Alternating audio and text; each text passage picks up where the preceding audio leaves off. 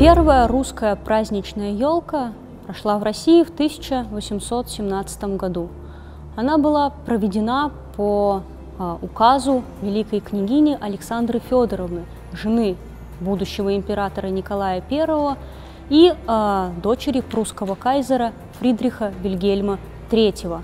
Она ввела такой обычай в память о своем детстве в Германии, где эта традиция была популярна еще, в общем-то, с языческих времен. И на этот праздник было принято дарить подарки.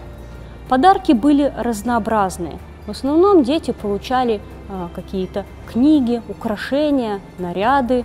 А, так, например, Ольга а, Николаевна, дочь будущего императора Николая I, в качестве одного из праздничных подарков получила прекрасный рояль. А ее брат, будущий император Александр II, получил на праздник, на Новый год от своего отца бюст императора Петра Великого, которого он считал идеалом правителя и образцом для подражания. Император же предпочитал получать от своих детей в качестве подарка какие-то вещи, которые бы они сделали своими руками. Дорогие подарки, в общем-то, не поощрялись. Друг другу дети дарили тоже какие-то небольшие сувениры, которые они могли купить на свои карманные деньги. Подарки дарились также и придворным.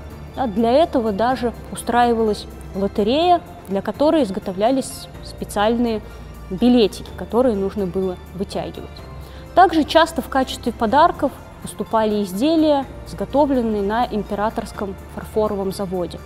И, в общем-то, с тех пор эта традиция перешла в народ, и простые люди, да, обычные жители России стали в Новый год друг другу также дарить подарки. Сотрудники мультимедийного парка поздравляют вас с Новым годом и желают вам благополучия в Новом году, самое главное – здоровья и а, успехов во всех ваших начинаниях.